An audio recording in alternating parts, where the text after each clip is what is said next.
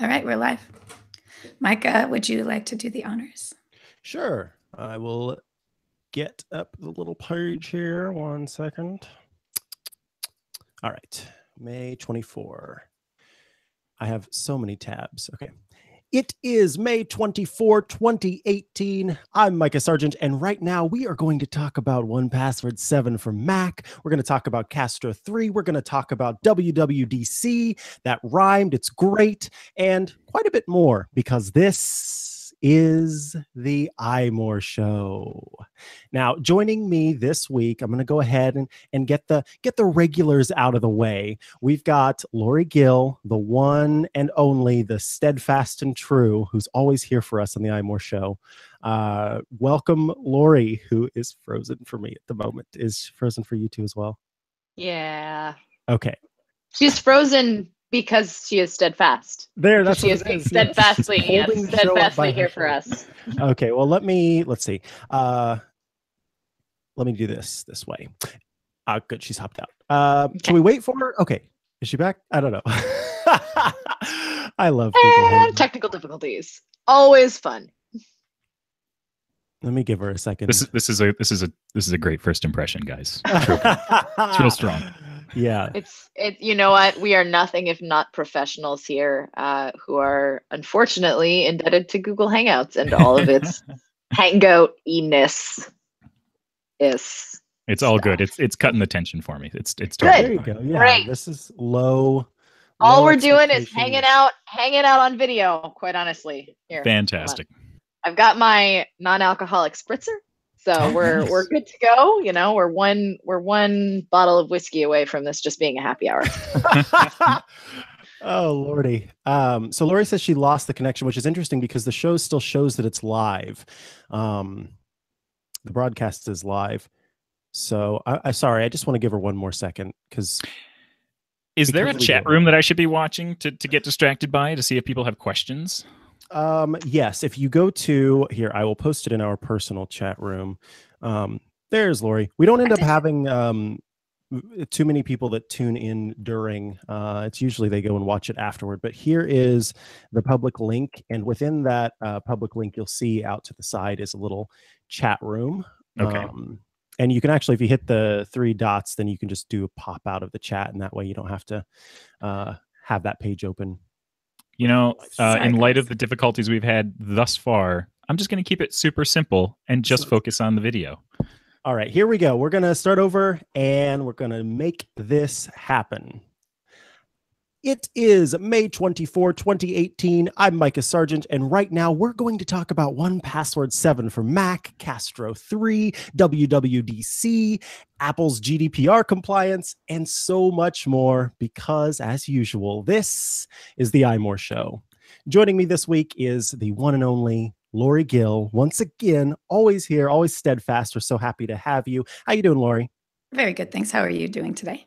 Uh, just peachy, peachy keen. Excellent. And, and, we are blessed to be joined by Serenity Caldwell. How you doing, Serenity?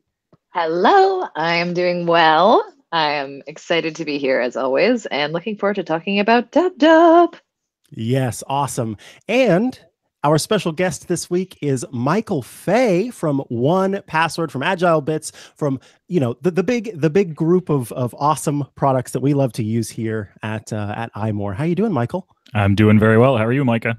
I'm great. So happy to have you here. And look, it's the first topic we're going to discuss. 1Password 7 for Mac is out. Uh, I've been using the beta for a little while and have been loving the new 1Password Mini. Um, it's fantastic. And now every time iTunes bugs me 12 billion thousand times to log into my account, I can drag and drop my password instead of having to type it in or go and copy and paste it. Uh, do you want to give us sort of a, a, a a big overview of what's new. What can people get excited about with 1Password 7 for Mac? Yeah, so it, living in the in the details for the last few months, like I have, it's it's nice to finally sort of take a step back and look at everything that we've done and and and get to talk about it at a macro level. So yeah, 1Password seven, it's our first paid upgrade in like five years. Like we, you know, we la- we shipped 1Password four And then when we did one password five, that was a free update. Then we did one password six, and we made that a free update too. And then for one password seven, we're like, oh, okay, I think that we've we've done enough. Of, like we've we've done enough. it's time to have a paid upgrade. Uh, and so we did. So this is our first paid upgrade in a long time. Uh, one password subscribers, people that have one password accounts, they'll get it for it's included as part of their membership. Um, but yeah, we've we've done so much in this release. But you you hit on a couple of of things uh, that are some of my favorites. Um, we now show the logins that you need for the apps that you're that you're using at the time. So, like you said, if you bring up uh, One Password Mini when you're in iTunes, you'll see your Apple ID right there waiting for you, and you can just drag and drop your username and your password over, and it's it's awesome. There've been a couple times when I've used it, and afterwards I was like, "Oh, that's right, we did that," and that was super great to use. Um, the other thing that we've done that I am super excited about is our all new Watchtower uh, feature. And Watchtower is something we had in, in one password six, but it was it was pretty focused, and we've taken and just like blown it up in one password seven. Watchtower is our security audit feature, and it uh, it watches for compromised websites. It now watches for compromised passwords. So if you are if one of your logins has a password that has been exposed in an online breach somewhere, we now securely check that and let you know. Uh, we also let you know if any of your any of your logins support two-factor authentication and you're not using it. Uh, we let you know about weak passwords, duplicate passwords, and also uh, just for fun, we threw in things like expiring passports and expiring credit cards to let you know ahead of time when those things are, are going to be going away. So I am really that's that's one of my favorite features of One Password Seven because we've taken we've taken one password from a tool that helps keep you safe online and now drives you to stay safe online. Like we're, we're being very upfront about the fact that hey this this thing that you're that you're looking at there's a problem and you should go fix it. And i think that it's really going to change people's habits when it comes to to good online password health. And so that's that's one of the things that i'm really really excited about yeah, I made the joke that it sort of shames you into updating your passwords to to add two-factor authentication, and like that used to be my job with family members who I've convinced to use one password, and now I don't have to be do the shaming. The app's going to take care of that for me, so that's been pretty great. Because yeah. there, I mean, we've seen lots of sites get two-factor authentication, and they're not always like I think now they're starting to get a little bit more wise to sharing that on their various social media accounts. But it's kind of been a, a thing that's tucked away in the past because people are like, what is two factor authentication? And so I'm glad that, you know, now I have this one place I can go and say, no way, my favorite online coffee subscription service has two factor authentication that's great yeah it's really neat we uh so we integrated with with two different services uh with with one password 7 the first is uh, two-factor-auth.org it maintains a list of like a constantly updating list of, of sites that support two-factor authentication and we periodically will pull from that so that you're always you know as sites adopt two-factor authentication you will have the you know you'll be notified of that in in one password.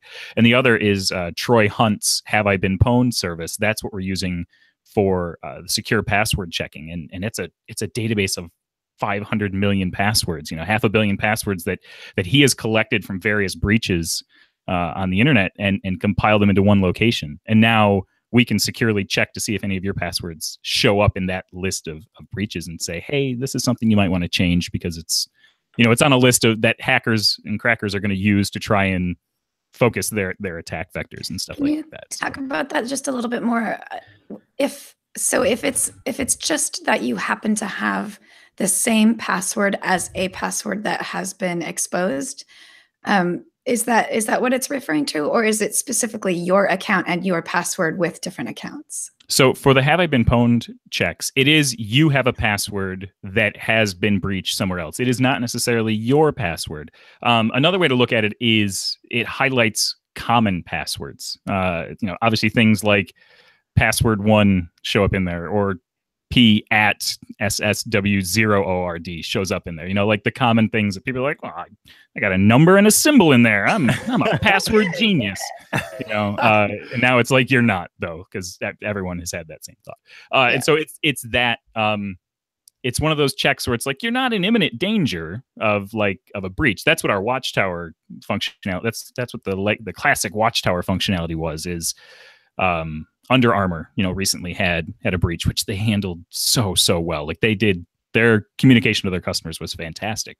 Uh, if you had a MyFitnessPal login in your in your vault, we flagged that as this had a breach. Like your username and password are at risk. You need to go and change that. So that's that's sort of the difference between like having a pwned password versus having a, a like an actual breached login. Right. Yeah. The, which is fantastic because I don't think that everybody realizes, even if they receive an email, they might just kind of, oh, that that couldn't be me, and just sort of dismiss that that idea that maybe their their password has been breached, and having a notification of, hey, you need to do something about this. It's uh it's a lot better, a lot more clear and easy to understand for people that aren't necessarily tech savvy. So yeah, yep, absolutely. Yeah. Now, for the the font nerds among us, the type nerds, the the typographers, um, I was certainly very excited to see the custom typeface that was designed uh, for One Password and the you know the sort of upgrade, I guess, to notes and the the addition of Markdown. Can you talk a little bit about sort of you know where did that come from because it's not every day that a a service is like you know what we're going to do we're going to pay somebody to make us our own typeface where'd that come from and just your your general thoughts on adding markdown and things like that to notes Sure, sure. So the custom typeface, uh, the designer of, of the font, Alan Dague-Greene, and I, I hope that I'm pronouncing his last name correctly because I've only ever read it. Uh, is he he actually approached us gosh, it was probably like 18 months ago. And he's like, hey, listen, I'm a big one password fan. I have this this font that I've designed. Uh, it's it's called wow. Courier Prime. I I've developed a special one for one password. I was wondering if you guys wanted to include it, and we were like, uh, "Yeah, we super do." So it was it was one of those cases where, um, so, like I said, someone who was who was a fan of ours came to us with this awesome thing, and how could we possibly say no? So like it's you know, we we've now got Courier Prime Bits. That's our custom font, and it's it's fantastic. It's a beautiful font. Uh, it, you know, it's great for for showing passwords and stuff like that. And we, in fact, we also use it in our uh, our new Markdown rendering stuff. So if you if you happen to render, you know, certain Markdown allows you to render things in pre-formatted tags, basically fixed width uh, font tags and stuff like that. Um, you know, we use the font there as well. So Markdown rendering is something that we've sort of we've wanted ourselves for a long time. You know, we have internal to Agile Bits, we have a lot of notes, uh, secure notes that we we share for various things. I mean, we use it for gosh, things like how to do a performance review of, of one of your team members to uh, here's a script that you can use to read if you are recording a demonstration video for something. And in all of these things, we've just sort of over time naturally formatted with Markdown, uh, Markdown uh, formatting. And so we're we're like, you know, this it would be great to render this. Like it's fine, you know, Markdown is great because you can actually you, it's it's a readable uh, markup language, but uh, it would just be so much better if we could actually render it. And so we we endeavored to do that, and and we we got it done. And it was really neat is that we did it in such a way. Um, this is a little inside baseball, but as a nerd, I'm proud of it nonetheless. Uh, we did it in such a way that all the platforms get it for free, more or less. We, we wrote it into a common library that all of us link against so that, you know, one password for Mac gets it, one password for iOS gets it, but also one password for Android, one password uh, for Windows, and uh, one password X, which is our Chrome and Firefox extension. Like all of our products get it at once. And that's something that we've really been trying to push is, is sort of having feature parity across all the versions of one password. And so this is one of our first steps in doing that. And it's, it's really cool. Like you'll start to see it roll out to our other, our other products pretty soon. Ooh, that's excellent. So there's a little uh, hint for those of you uh, tuning in live. Now, I I have one. This is this is a bit of a challenge, and this is, I'm interested to hear your your answer to this. So, I've got let's say I've got some some family members who have I love cats with a few zeros and threes and things thrown in there, and they're just using it across their entire, you know, the, all of their accounts online are using these passwords. We all have that person in we our all life. have that person or those people. How do you recommend convincing those people in our lives who we know would be so much better off with one password? How do we convince them to get one password? What is it? That, what's your pitch to to the less techie people? Sure. So the really cool thing about one password is that it is a tool that everyone needs. There is no niche for for a password manager. One password is something that everybody actually needs. So you can always start there. Um, and you know the, the elevator pitch that i kind of give to people is uh, you know you might trust that your bank is has really good online security and they're probably not going to get breached but so you know using a password for that is is completely fine but the place where you order your coffee subscriptions you don't necessarily know that they've got bank level security. And if you're using the same password to order your coffee as you are to pay your bills you've now opened yourself up to an incredible attack vector. Mm. and if one of those things is breached all of them are breached. And so what one password does is it lets you create a single password that you know your master password and behind that you can create strong unique passwords for all of your all of your various services which is you know that's that's really good password health. And now if there's a breach somewhere not only will we notify you of it but you can sort of rest easy knowing that your entire digital life didn't just get cracked wide open. It was just one tiny little site somewhere that you can go and fix. Um, the other in terms of you know as as sort of more uh people like us who are you know we live and breathe this stuff every single day. We were very comfortable with it. Um for family members in particular i found you know you sign up for a, a one password family subscription. You get you help uh, want your family members install one password on their devices if, if you like and get them set up. And then from there on you can almost guide them through changing their passwords remotely. I mean, you know, my wife and I share a vault, and there are things that, well, after we rolled out the, you know, some of the new security audit features, there were passwords that were cropping up, and I was like, oh, honey, you reuse that old password again. and that, but I mean, it was great. I could just go change it, and it would update automatically across all our devices. You know, her devices, my devices, everything. Um, so using a family a family account to sort of help manage things for people that might not be as as literate as you um, is certainly a good step. Uh, but honestly, like I've found, you know, with a, some of my family members, once I've gotten them introduced to it, once I've said like, here's this thing, you know, here's a quick introduction to how it works, they're off to the races, and they're just it just sort of fits right into their normal their normal use case. You know, as you use as you use your web browser naturally to go and log into things, one password is going to be asking you, "Hey, do you want to save this in one password?" And you just say yes. And that's really the best way to get started, right? Because now you're just building up your collection of information inside one password through your normal workflow. And then later you can go and and step through Watchtower and say, "Oh, I see. I see what I've done. I see what I've done here," and start to fix that stuff. So um, that's that's really my my big my biggest uh, recommendation is just get it installed and get them set up, and then cut them loose, and it should should just slot right into their normal workflow. Excellent. I think that's good advice. And in fact, I'm just going to cut that audio and send it to everybody. I know. No, I'm kidding. I like the idea of family subscription. I think that's a, a really easy way to. I think with some of my family members, especially, they're intimidated by it. They they're used to doing it one way, and they're intimidated by the the change. So having a family subscription so that you can kind of help set that up for them. So once it's set up, all they have to do is type in their their um, one password password, and then they see everything. I think that's going to be the aha moment for them to realize like oh this is actually much easier than i originally had thought Yeah, absolutely. Yeah, I've I've done that uh, with a couple of my family members. They're on they're on our family account, and it's like, yeah, they're just happily rolling along, like no trouble. And what's neat as like a as a family organizer, what do we call it? Uh, it's team leader, family, yeah, a family admin, right? Uh, you can you can help recover someone's account. So if like you know your mother Ah. comes to you and they're like i forgot my master password you're like that's no problem i'll just reset it like i i'll, I'll put you into recovery mode and they get an email and they get to just go and set their you know change their master password and they're they're good to go that's Um, fantastic This, I'm going to become my family's savior today. yeah you, you totally should yes absolutely. Oh wow, that's awesome. Okay, well, before we move on, I am curious. One one last thing, maybe uh, that you've been really excited about that maybe people haven't noticed, or like a, a hidden feature that you uh, and the team are really proud of. Basically, anything that maybe we may we may have missed uh, in the sort of press rollout that you think is is worth discussing or talking about or pointing out.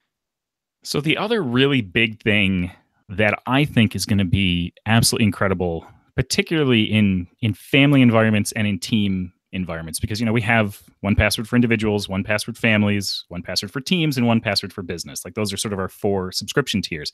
And in uh, in the family and, and team and business environments in particular, uh, the ability to better utilize multiple vaults in one password 7 is is pretty incredible in in my opinion. So one password has had this concept of vaults and even multiple vaults for a number of versions. And when we rolled out onepassword.com we sort of we built upon that a little bit more so that you have you have your personal vault inside your account and then uh, within a family environment you have a shared vault. And, and similar within a team. You have a shared vault where ev- that everybody has access to and you can share information for a long time we've had the ability to also create additional vaults but it's been something that has really just lived in the web interface of onepassword.com and in in one password 7 for mac we said okay like this this is fine. Like it's we've supported multiple vaults for a long time but now it's time to make them just freaking awesome.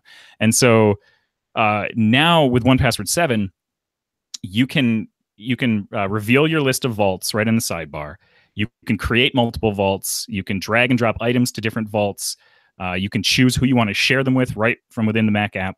Um, you can even drag, you can select a whole bunch of items and drag and drop them to the new vault button, and it will make a new vault right in place and then move all those items into it. That's actually something that I used after we had this feature written. Uh, I was working with one of one of the guys on my team who was writing the Markdown rendering issue stuff, and I ran into a small rendering issue with one of my notes. I said, "I need to get this to Anthony." Oh, I know. I revealed the vault list. I dragged a couple of the items to the new vault thing, created a new vault right in place, then managed it so that Anthony could get access to it. And I said, okay, you're all like, I texted him on Slack. I was like, you're all set. You should have a vault that's called like, you know, Michael's Markdown Mess or something. And and he's like, yeah, no, I got it. And it was so ridiculously seamless that I was able to just instantly securely share something with someone else on my team. I was like, oh my gosh, people are gonna love this. Like it was it was one of those aha moments that I was like, something that we wrote is freaking cool. I can't wait to get to roll this out. So that's that's one of my hidden gems is is is I mean it's not you know we we talk about it a lot, but I consider that something that like everyone should check out, especially in a team and family environment, because you really can get fine grained control over how you share things. I mean, you know, I I shared that just with Anthony. Uh, I could have shared it with the entire Apple development team if I wanted to with just a single click. Um, in the family environment, you know, I've got vaults that my wife and I have access to uh, but my mom and my brother do not because they don't need to know about you know our estate planning vault or something like that. So right. you know there's a lot of power and flexibility there, and we've exposed a lot of that in one password seven, and I'm and I think that it's going to really drive and change how people organize their information going forward. Excellent. Wow, that's awesome. Uh, well, certainly, thank you for giving us a an, a big overview and, and diving down into some yeah. of the the features there. Um, any last questions from from uh, from Renner Lori before we move on? I just want to thank you again, Michael. It was really it's really interesting to hear the genesis of the app from one of the developers itself. I think it's a it's it's kind of like getting a peek behind the curtain as it, as it would, and we really appreciate you coming on. Yes, yeah, thank, thank you. you. very much. It's it's it's fun to talk about this thing that we've spent the last six, 12, 12 months making. So yeah. Yeah. Awesome. Thank you. Uh, okay, now before we head on to the next topic, uh, Lori, fire up your browser because it's time to tell everybody about our friends at Thrifter. Thrifter, of course, is a way to save money on everything from gadgets to home goods by shopping based on value and not hype. That means you're going to get the best deals possible. It's not those silly fake deals that retailers love to put into place to trick your little mind. Uh, if you sign up at thrifter.com, you're going to get thoughtfully selected tech deals from places like Amazon and Best Buy, and also new products and new services that are coming out. You'll hear from them first over at Thrifter. It's all the stuff, none of the fluff at thrifter.com. Lori has been perusing Thrifter's website to find an awesome deal that you can check out. And now it's time to figure out what that one is. Here's a really great deal, especially now that the weather is starting to change and we're going to get into the hotter times of the year. Uh, Nest is on sale for $70 off. That makes it only $150 at Costco. So if you have a Costco membership, you're going to get a really good deal on Nest thermostat, third generation. That's not so bad, right? that's yeah, that's actually that's a very good deal. Um, yeah. And with with with summer coming up too, uh, we've got Fourth of July not too far away, and you know people sometimes will want to go to a Fourth of July celebration. If you've got pets, you don't really want to bring them to those celebrations because of the loud fireworks. It's not not great for pets' anxiety. So you might want to leave your pets at home, safe inside the house, locked away from those really loud noises, but you might want to check in on them so you can check in on them and uh, make sure everything's good to go. Uh, and so yeah, Nest's products, uh, having those deals, they've got the Nest Cam and the Nest thermostat and all that jazz, and they all work together quite well. Um, so you can keep track of that. Uh, all right. So, again, that is thrifter.com. You can sign up on the website to get thoughtfully selected deals. It's all the stuff, none of the fluff. Thanks so, so much to Thrifter for sponsoring this week's episode of The iMore Show. Uh, let's quickly talk about the podcast app. Uh, it just got a huge update. It's Castro 3. And, you know, interestingly castro is it's a bit different from i think the podcast apps that we're used to using. Michael i'm curious to hear if you listen to podcasts and what apps uh, or app you're using to do so. Um, but lori do you want to give us a little bit of a rundown on what has uh, what, what what has changed or has been introduced in castro 3 yes. Okay so let's see here. Sorry I was I'm on the spot right now. Uh, so it looks like okay. So Castro now has a trim silence feature, um, which is actually not entirely unlike Overcast Smart Speed feature. So I think that um, Overcast fans will be happy to hear that um, there's, or well, actually, people who use Overcast but are maybe interested in variety of podcast apps will be happy to hear that um, Castro now has a feature very similar. Um, it's probably one of their biggest uh, feature changes. Um, so uh, I'm I'm reading about it. I'm sorry. okay.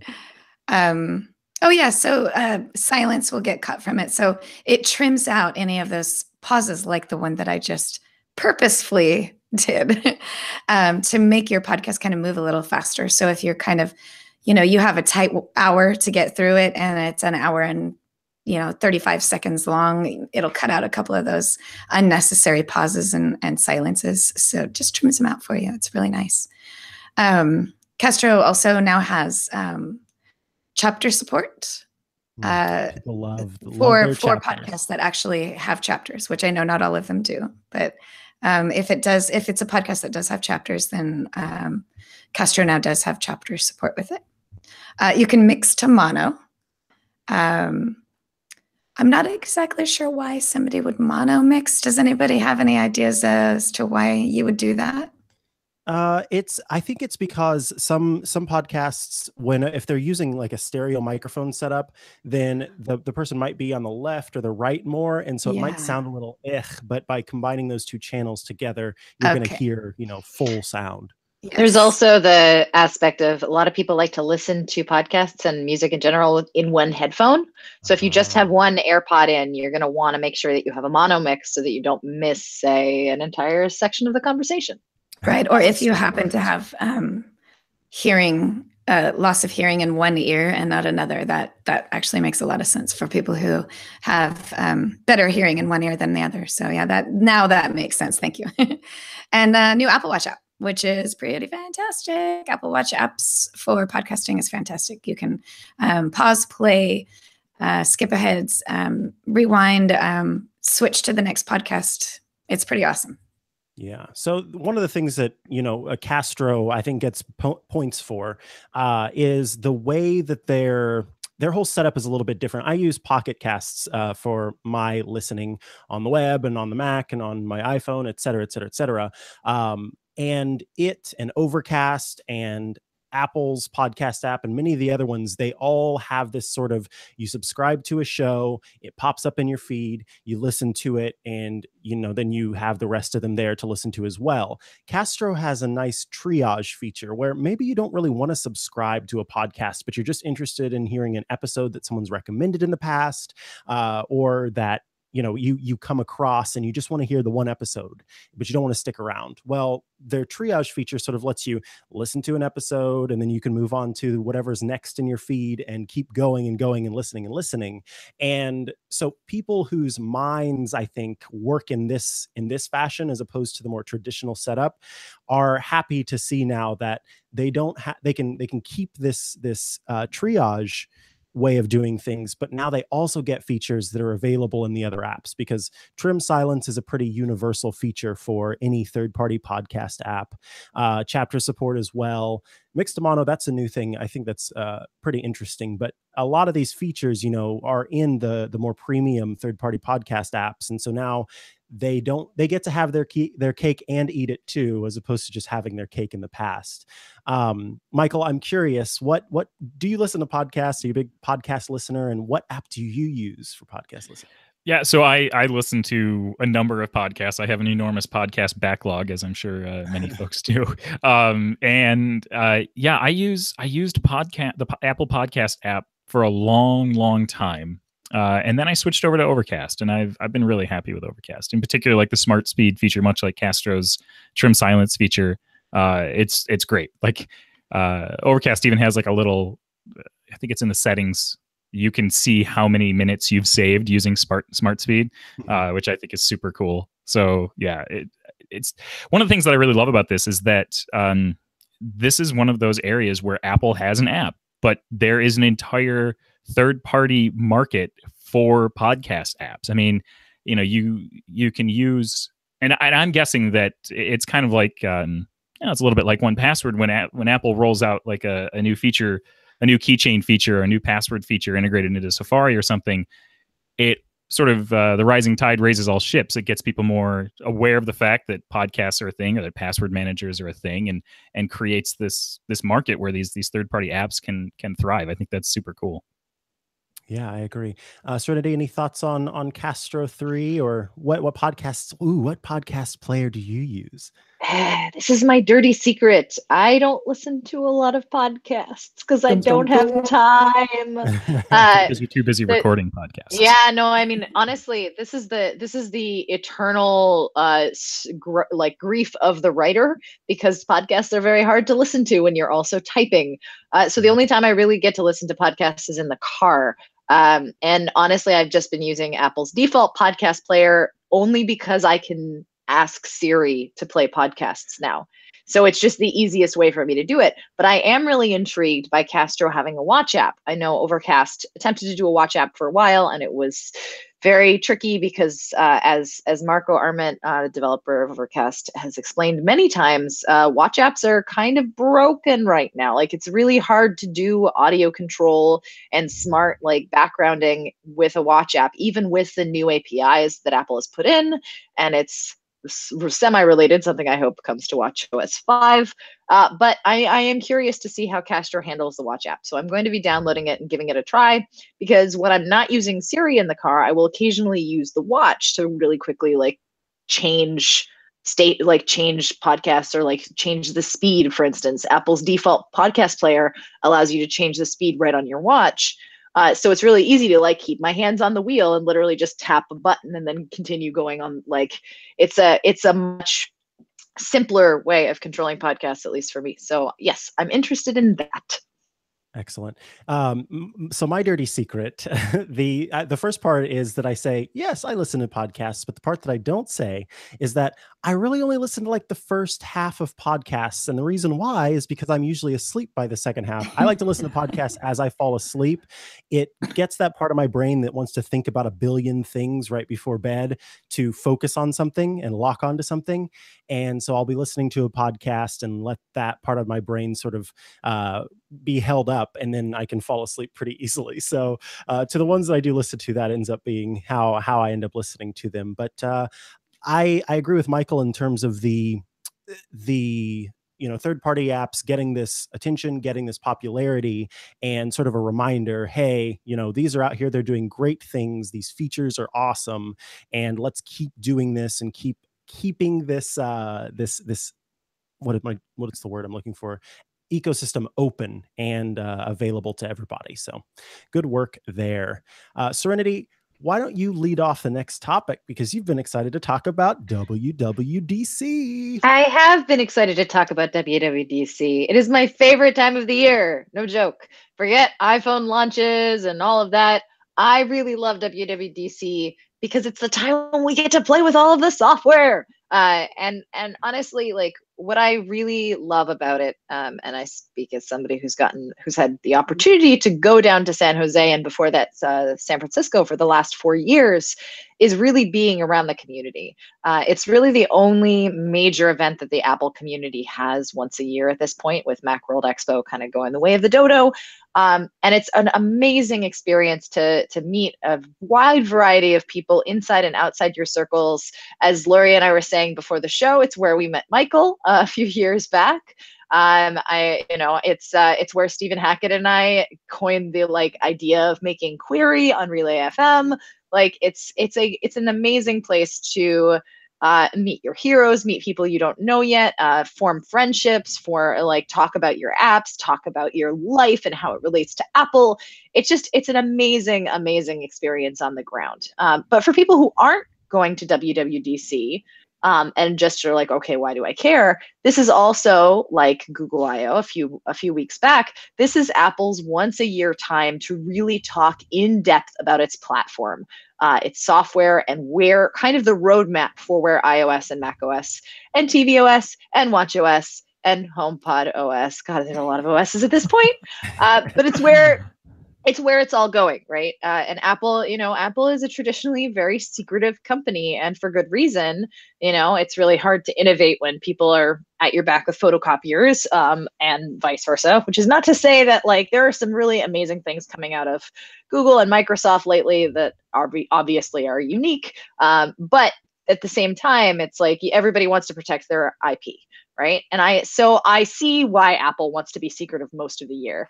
But what I really appreciate about WWDC is it's kind of the one time a year that we not only see a peak of what's coming next, uh, but we also get to see how they're really thinking about the software uh, with all of the sessions. And the sessions, you do need a developer account to view the sessions online, or obviously a pass to view the sessions in person. Uh, but there's a lot of really in-depth information that's re- like I, I as a, you know, I would say I'm moderately tech savvy, but I am not a developer by any means. I do not code Swift. I have tried. I have failed. Uh, my front end development is about where I where I get my HTML CSS development is my my peak here. Uh, but I love watching the sessions because the engineers have so much passion for their product and they're able to describe everything in such clean cut, interesting ways. Like I always after WWDC week, if there's something I want to know more about, I go back and I watch the session. And what's really nice is they have transcriptions attached to them now. Um, they have all the slides attached to them now. So if you don't have the time, again, uh, to watch uh, an hour and 10 minutes of uh, someone talking about WatchKit, you can browse through the transcript, you can look at the slides. Um, and, and what I also appreciate, I feel like I'm like, this, this, this, this, this uh, they've really been trying to make the sessions more widely accessible in addition to the hardcore engineering sessions. Like Apple will always have the like, let's talk about Core ML, and all of the slides are going to be heavy duty Swift. But at the same time, they'll also talk about machine learning from a human perspective. And they'll talk about the actual like principles and why it's important. Um, Apple had an amazing session last year on accessibility, uh, an amazing session on icon design. Like that, in that one session, I feel like I learned more about how Apple designers think about building their icons than five years prior. Like it's it's it's a really really cool experience to see inside the mind of Apple's engineers, Apple's product staff, and also we get a sneak peek at new goodies which is you know and even if they're not hardware goodies and they there may or may not be you know i'm always crossing my fingers for an apple pencil 2 and a new version of the ipad pro we're about the right time for it but even if that doesn't happen i'm really excited to see what they're going to do with watchOS I'm really excited to see what's next for iPhone, especially with the flexibility that the iPhone 10 has in terms of gestures. I'm just excited. Can you I tell? agree with Serenity. the, the, software that really does make your phone shine, uh, especially now that Apple isn't really doing a lot of major changes with the physical design of the iPhone. You can go buy a brand new iPhone 8 and it looks exactly like the brand new iPhone 7. So that doesn't feel as fantastic and new as when you download the new the new software and you see all these awesome changes and you see how apple has integrated things better and made things more uh, easy to find, and uh, I, the software updates are definitely the best. They really do make your phone feel brand new again when when big things come out, when things change. Yeah, that, see, this is an interesting thing because I was just talking about this on Clockwise yesterday. Um, we Kelly Guimont was on, and she was talking about how uh, there will always be sort of the the the people after WWDC happens who complain that Apple's not innovating enough, or not doing this or doing that, blah blah blah. And it's tough because I think that people who maybe aren't as steeped in this as we are, um, they are more likely to find excitement and interest in things that they can touch and hold and feel and love. And software features aren't that. And so we can talk about all of this awesome new software and talk about how it um, you know, all of these features are going to change the way that we do this, that, and the other. But a lot of times people are like, but but what's the new thing I can buy? Um, and Michael, I'm actually curious to hear your thoughts on this because you know, working working on a software application, is this something that that do, do you struggle or does the team struggle with sort of communicating how software changes can make a huge difference just as much as buying a new especially now that this is a paid upgrade. Um, how do you sort of navigate that? No there's nothing physical but this is still really friggin awesome. You, you know interesting interestingly enough with it being the first paid upgrade in five years we we really had to tackle this problem. Because before it was like well we have a free update out there and it's awesome and here's what's new and yeah, go check it out and see for yourself. And now it's it's like here's what's awesome and here's why you you know you should you should pay to to to use this. Um and Mike, I lost the track. Ask me the question one more time. My question is essentially how yeah, how do you handle that that that bit of that contingent of disappointment that comes from uh, you know not having some new shiny thing and how do you communicate we have this, this this this these awesome new features. It's not hardware but here is why you should get it. Um, how do you you know sort of i guess convince is the right word there. How do you convince people that this is awesome and should be paid attention to? Yeah you know a lot of times when we're considering new features we we look at it not only from uh, sort of the usefulness of, of the feature but the story that we can tell around it.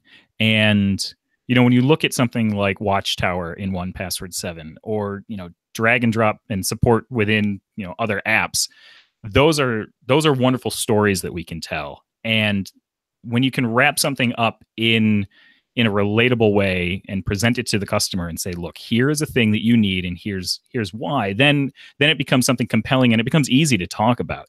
Um, if we just threw a bunch of new features at the wall and and you know say well here's here's a here's a handful of things we did and we didn't have a compelling way to talk about it then of course like it's just going to fall flat. Uh, so we really try to find like you know three three to five things that we can really sort of hitch our wagon to and and craft boy i sound real uh, anyway you know really really tell a great story around. Like I, I found i find a lot of success with that approach. And and so far it, it's it's panning out with with 1password 7 because I've I've basically been living in the 1password mentions feed on Twitter lately, just seeing what people are saying as as they go by, and and uh, seeing people latch on to these stories that we're trying to tell of like, oh my gosh, I just did this and it was amazing, or holy, I mean, the big one has been two factor auth, right? Holy cow, look at all these websites I didn't know that supported two factor authentication, amazing! Like these are this this is how we how we create momentum around a new product, and I think that Apple is particularly great at that of course. Like you look at the you know the the vignettes that they put together the ads that they put together uh, you know they send out to youtube and stuff like that uh, around here's the new update. Here's the things that are coming with it. You know and they they always tell it in some awesome awesome cinematic way and and at the end of it you're like i need that thing. Like i i need that software update. I need i need it because of this. I mean the facetime ads are the perfect example of that right? Of like you're on a business trip and you get to see your loved ones across the country. Like those those types of, of things really help push a product. So apple in particular obviously has to has to craft those types of stories both around hardware and and software launches. And i think that hardware like iphone 10 is easier to tell those stories than maybe the iPhone 8 was compared to the 7. I mean, iPhone 10, it's like, well, here's an emoji and here's like Face ID and like all these, uh, like, I mean, iPhone 10 is quite frankly the best iPhone they've ever made. So, you know, those stories become easy to tell. Um, but that's, they're very, very good at it. And we try to, we try and, and sort of follow in their footsteps a bit. Hmm. Interesting. Uh, do we want to sort of go around and say one thing we hoped i think people end up liking that one thing we hope to see at wwdc for sure uh, i'm going to start so that nobody steals mine because i'm selfish. Um, i really really really want siri to be as close to uh, feature parity across all of the different platforms because i why why can't i say yo siri on my mac can you please turn off the lights in my office? Why can't i do that? Why is homekit not available on my mac? That's so sad. That's so disappointing. I just want siri to be as good on the mac as it is elsewhere which is you know it, it has its problems elsewhere. So at least as good as that right? Ugh. uh let's go Lory next I would really like to see a better version of the Mail app on Mac. It's it's very outdated and they're doing these these minor updates that that help make it better, but really it needs a, a redesign from the ground up. So my my hope would be that they do something different for the Mac uh, Mail app. I use third party mail apps that work wonderfully. In fact, I use Newton, and I I will never stray from Newton because it's the best. But I would I don't I I if I ever have to open the mail app for any reason, like if we're doing a guide or something for iMore, I dread opening it. so I think the mail app on Mac needs to be completely redesigned. I would love to see Apple do that. You get to choose who's next. Oh, um, Michael, let's see what you have to say. Oh man. Okay, so this is a, this is a tough one for me because I haven't been paying as much as much attention as I should to rumors and stuff lately. But you know, the one that's ever present, of course, is uh, Apple bringing UI kit to the Mac. Like I, I think that they, I think that they are probably setting themselves up for, you know, some some toolkit fundamentals uh, that are going to be rolled out on the Mac side. And maybe it's just because I just got done creating a Mac app that I'm I'm really excited to see what comes to the Mac next. It, regardless, like one of the things that we do, and this sort of strays a little bit from the question, Mikah, but I'm going to take the tangent anyway, is uh, um, you know we try to wind down development ahead of WWDC every year because for a lot of the things that that Serenity said, which was you know just the excitement of going into it, but also we want to see what Apple announces, and then we jump on it like immediately. I remember uh, in 2000. No wait, wait. I don't remember the year, iOS 8, when they introduced like, hey, third party apps can use Touch ID. Like we downloaded the SDK right away and went back to the hotel and whipped and integrated Touch ID with 1Password like that day. And then we had videos that we were showing around to like some of our, our friends at Apple and stuff. We're like, look what we did. And they're like, oh my gosh, you did that already? Uh, so, um, you know, we, we, and since then, like we've done that every year. Like we, we tried to, launch a big 1Password update alongside the Mac or the iOS updates to t- take advantage of, of all the cool stuff has all the cool stuff Apple has announced. So that's really what I'm looking forward to is just like that next big thing that we can just grab onto and integrate into 1Password and then be, you know, ready to ready to rock in the fall. Awesome. All right, Ren. You want a list? all right. That's why I wanted her to go last. That was a smart Say the Very best. Oh smart. my god. All right. Uh let's I'm gonna start with services. Uh, because I feel like that's a I love we'll this. just we'll I go just we'll go section by section. You've got a Subsection huge A. wall with like red lines drawn. or, Yeah. no, no, it's not. It's really not that big. Uh, it's mostly, honestly, it's things that bug me in everyday life that I'm like, ah, I wish this could be a little bit better. Uh, iCloud Photo Library. I've been asking for this for two years. I'm really hoping they offer some kind of advanced management for what you can store on your device and what you can't. I love optimized storage. I think it's an amazing feature that they've built in. Uh, but there are times when I want to keep certain albums or certain photos or certain videos that I'm trying to edit from getting disappeared up into the cloud.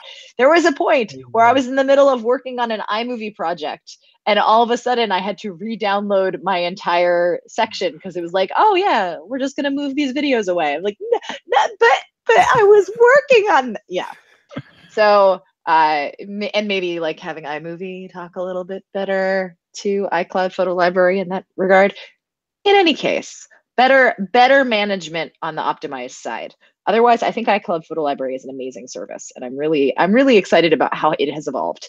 Um, I'm also hoping for more storage in general for iCloud users. Uh, you, you've seen Google has now kind of matched Apple in terms of uh, the paid storage with Google One. Uh, but I'm really hoping that Apple decides, hey, you know what? We're about to be a trillion dollar company. Maybe five gigabytes of free storage is like a little bit a little bit stingy. Maybe we can bump it up at least to 15 or hey, 100. Imagine that. 100 gigabytes of free storage. Uh, that would be nice. yeah, it would be swell. Uh, I don't think they will bump it up to 100, but I would like to at least achieve feature parity with I think Google I One. think 15 is a reasonable request. I think is it um is it Google that gives 15, uh, 17 free? Yeah. So I think 15 is a reasonable free tier upgrade without, you know, with while still, you know, like I I couldn't use 15. I would need more, but there's a lot of people I know who only need 15, so it would be perfect for for the people who are still kind of not heavy cloud users, you know. I think that's great. I would love Yeah. that. for sure. Um, Apple Music, I think Apple Music has gotten a lot better. Again, it's been almost three years at this point since Apple Music's been launched. Um, I love the curation that their behind the scenes folks are doing. I would love playlists to be a little bit more easily accessible. Uh, we've seen what uh, what Spotify is doing with all of their discovery mixes and everything else. And Apple Music's big sell right now is the integration with Siri and HomePod. Uh, and if they can step it up even a further notch and really provide here's the thing I would love for HomePod to recommend playlists to me. I can currently say things like, you know, play pot, like play party music or something like that, and it'll play the first party music thing that comes off of the list. But I would really like to be able to ask it, like, what are some good party playlists, and have HomePod be like, well, there's this, there's this, there's this. Which one would you like? Mhm. And being able to just be like, I'd like to listen to this one. Thanks, HomePod or what have I listened to lately? You know, um, I just I think there's there can be some smarter Siri integrations because that's really I mean that is Apple's chief selling point right now with Apple Music. The the curation is great, but Spotify also has great curation. Um, and unless they they can really leverage the the assets that they do have, they're going to risk kind of staying at feature parity with Spotify and and user parity. Like even there's a certain point where they're going to hit market saturation and they're not going to be able to keep on overtaking spotify and users. Um, okay so that's services. Uh, watch um, i want custom watch faces. I've been asking for it forever. Like I think it would developer be- designed. Like, yes. yeah, that would be super yes. sweet.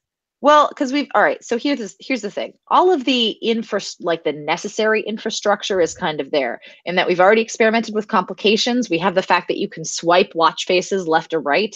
Mm. having custom watch faces quite honestly is the next step from complications to apps. It's what apple was trying to do with glances in watch os 1 um, and just didn't really succeed at doing it because glances were very buggy and very slow and didn't always work. Uh, but i would love to see custom complicate like full on custom watch faces and also because it would just look cool on it like the Apple Watch, and I've said this many times, is still the only viable smartwatch for anybody with wrists smaller than that of a giant. Uh, and it's it's everywhere, honestly. Like I know Apple hasn't officially released numbers, but like I have been I have been in tech cities and rural areas and non-tech cities. You know, when I'm when I'm up in Montreal, I basically see it on almost everybody's wrists, and it's it's crazy. It's crazy how how many people of different ages and weights and sizes and body like and and races and colors and creeds and like everybody is wearing this and it's it's which is awesome but personalization would be great i really love the activity rings right i love i love the activity view Uh, from a technical standpoint, I hate the way that it looks on my wrist. I just it's very colorful and doesn't doesn't always go well with every outfit that I wear. Um, and uh, yeah, that would be nice. Um, I'm also kind of looking forward to again more Siri integration on the watch. Watch and Siri is something that I use every single day, partially because it's so much better than any other, like maybe next to HomePod. I think HomePod has the same kind of veracity on its microphone, but HomePod has an incredibly limited set of skills. Mhm. Whereas Watch is much closer in parity to the iPhone, but it's much more advanced and it's recogn- like I can sit here, I can have the watch, you know, at my side. I can say the trigger word and then give my command and it will dictate it all per- like perfectly. I I go so far, I think I've talked about this before. I use the watches Siri when I'm driving to dictate messages and to change songs and all of that because it's the watch understands me so much better than my car's like subpar microphone. Wow. It's such a good it's it's like a it's a life hack. It's it's wonderful. Yeah, I pro l- tip. Damn yeah. it, Serenity. Now, see, I have a Series One, and you're making me want. Like now, you're telling me why I have to go buy a Series. Like I that's, mean, thanks. yeah. that's great. Yeah. Thank you. Serenity Yeah. does that a lot. Gets I, I we we all end up buying things because of yeah, where's your emperor mug, Mikah? it's it's right here. yeah um so and then the last thing for watch quite honestly i want a software development kit for developers that isn't a pile of crap sorry watch engineers i know you guys are working really really hard and it's not to shit on your private prior efforts i understand that you were very very hardware constrained but the series 3 and quite honestly the series 1 have enough junk in their trunk so to speak that i feel like an actual watch SDK can be presented. Like the watch has gotten far enough in advance that I don't think developers need to be hindered.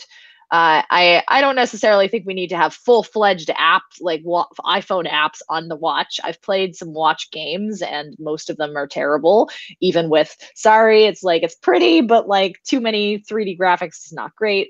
Then you have games like Pocket Bandit that do it really well, or Lifeline that do it really well, that keep things like short and simple and, and allow you like very, very simplistic things. Uh, but I would love like there are there are things that I know that apps just simply can't do right now. Where there's I've run into so many buggy watch apps, and I have a I have an unfinished compilation of like literally it, it used to be called best apple watch apps and then i changed it at some point to apple watch apps that don't suck uh, because it's uh yeah it, it's really really hard to make an apple watch app that works reliably and works consistently given all the parameters and restrictions that apple has had to put into place because of past apple watch hardware so i'm really hoping that we see an overhaul in terms of how apple thinks about apple watch apps especially with all the health kit and the research kit stuff like there's a huge opportunity here uh, for developers to really capitalize on it uh, but in order for developers to be able to make successful watch apps,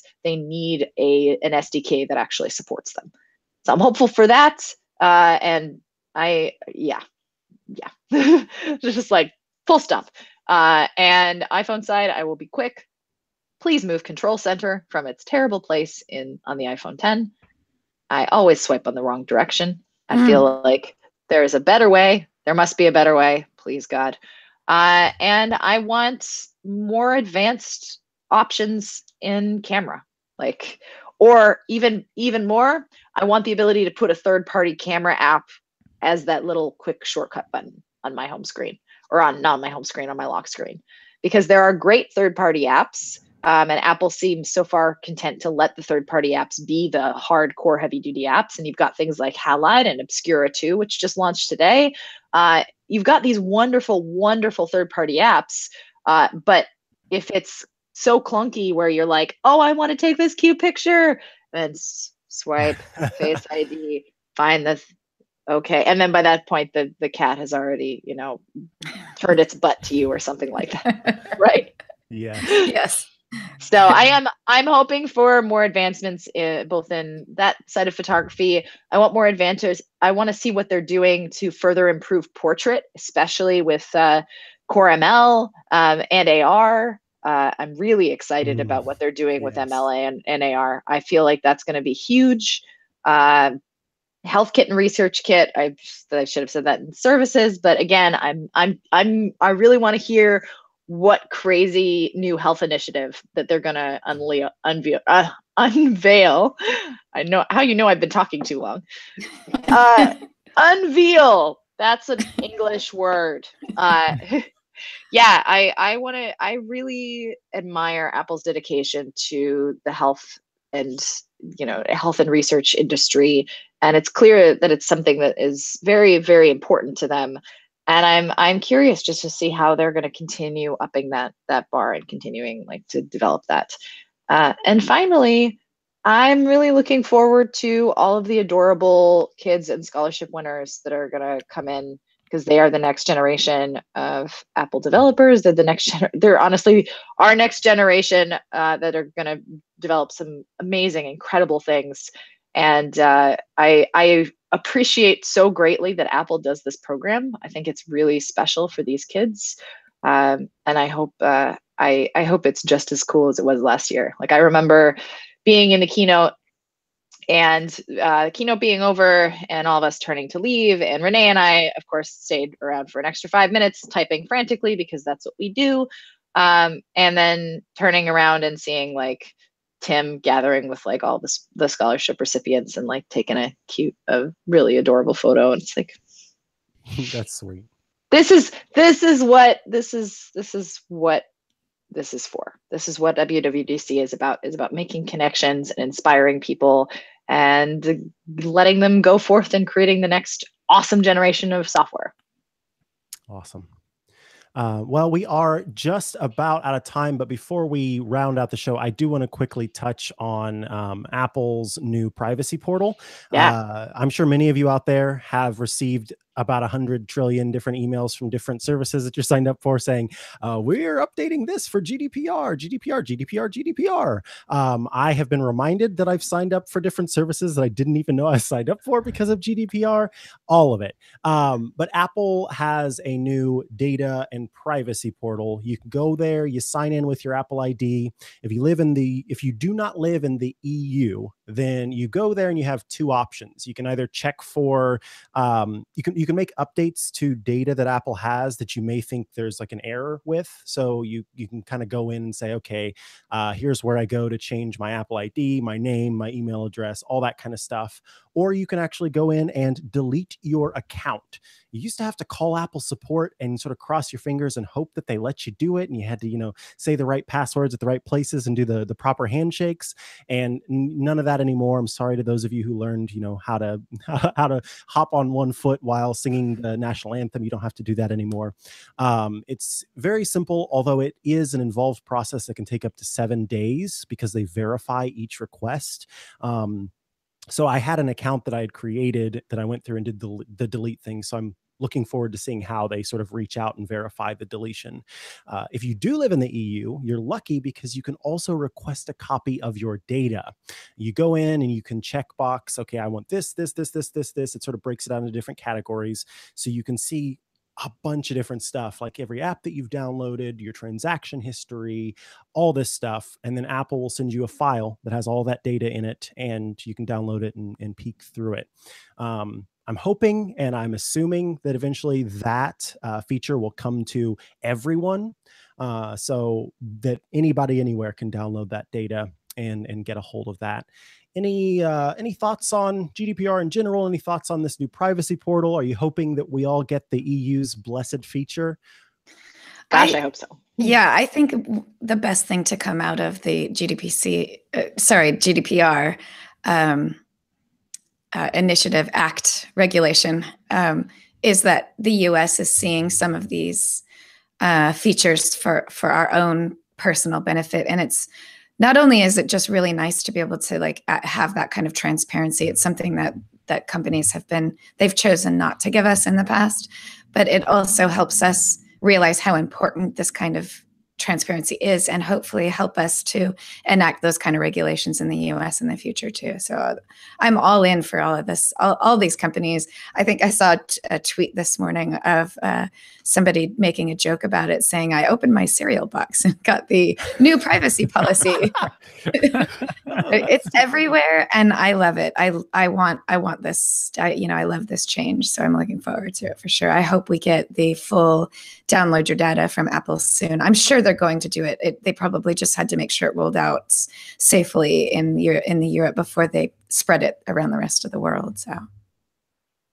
Yeah, it's something that definitely changed a few key things within the company as we were working on GD, GDPR compliance. And it was like, well, you know, so happily, you know, we have, we actually have onepassword.ca and onepassword.eu uh, servers as well. So it was, uh, you know, part of part of the ability, uh, you know, with GDPR, you know, we had these servers. We have, I think that our our .eu instance is hosted in in Germany, and and so it was it was great to sort of take that and, and look at the, you know the GDPR component and be like, okay, I think we're all set here, and then just change a few processes, and we were we were good. We did not send out email. I don't believe. I think that we have just we have a nice thing on our website that says yes, we're GDPR compliant. But yes. uh, I think that we saved everyone's inbox a little bit.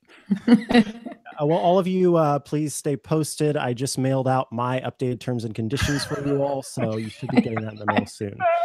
Um, all right. That is another episode of the iMore Show. Thank you all so much for listening. Let's go ahead and go around. Michael Fey, of course, thank you for joining us. If people are looking for you online, where can they find you? Yeah, so you can follow me on Twitter at Mr. Rooney. It's M R R O O N I. Uh, but you should just skip right to onepassword.com and sign up for a for a one password membership because it's great and uh, yeah we just we just shipped an awesome update so go get that do it. Serenity Caldwell. Yes. You, where can they find you? You can find me on Twitter at Settern, S E T T E R N, as well as on Instagram, on iMore, and on Relay FM, where I am doing a show called Query with Stephen Hackett, where we answer your tech questions. And you can find me at WWDC in a week and a half. Woo! yes where she will be uh, recounting that list of things that needs to happen at WWDC. She'll be cornering engineers. yeah, be going to the labs and being like, "Excuse me, I have a question." You forgot to mention this feature that you're supposed Hi, to have. I, I, don't, I don't know if you, if, if you recognize me, but I'm celebrity uh, podcaster Serenity Caldwell, and I have a request. I'm Z-list celebrity. uh, Lory Gil, if people are looking for you online, where can they find you? I will be having a slumber party with Serenity at WWDC, and uh, they can find me at Appaholik on Twitter. That's A P P A H. Sorry, A P P A H O L I K. And if there were a such thing as a physical one password vault, I would be snuggled up in it right now because it's a very secure and safe place to be. Uh, phys- physical one password vault's coming soon. Uh, nice, nice. Stay posted. Um, if you were, if Rene were here, he would tell you you could find him at Rene Ritchie on most things. You can also find his show Vector. It's video, it's podcast, it's articles, etc., etc. Um, and if you're looking for me online, you can find me at Mikah Sargent on most things. Uh, you can also check out the new podcast that I do for dream interpretation and sleep science called Lucid. That's at Lucid Podcast, I think, or at Lucid Show, something. Just look up Lucid. You can also go to chihuahua.coffee, C H I H U A H U A dot coffee for all the links to all the things I do. You can, of course, find us all on uh, iMore and I want to thank Jim Metzendorf for editing the show and making us all sound great despite any technical difficulties. We will be back next week with loads more to talk about. All of you have a wonderful rest of your week or weekend, and goodbye until next time. Au revoir. Thank you, everybody. All righty.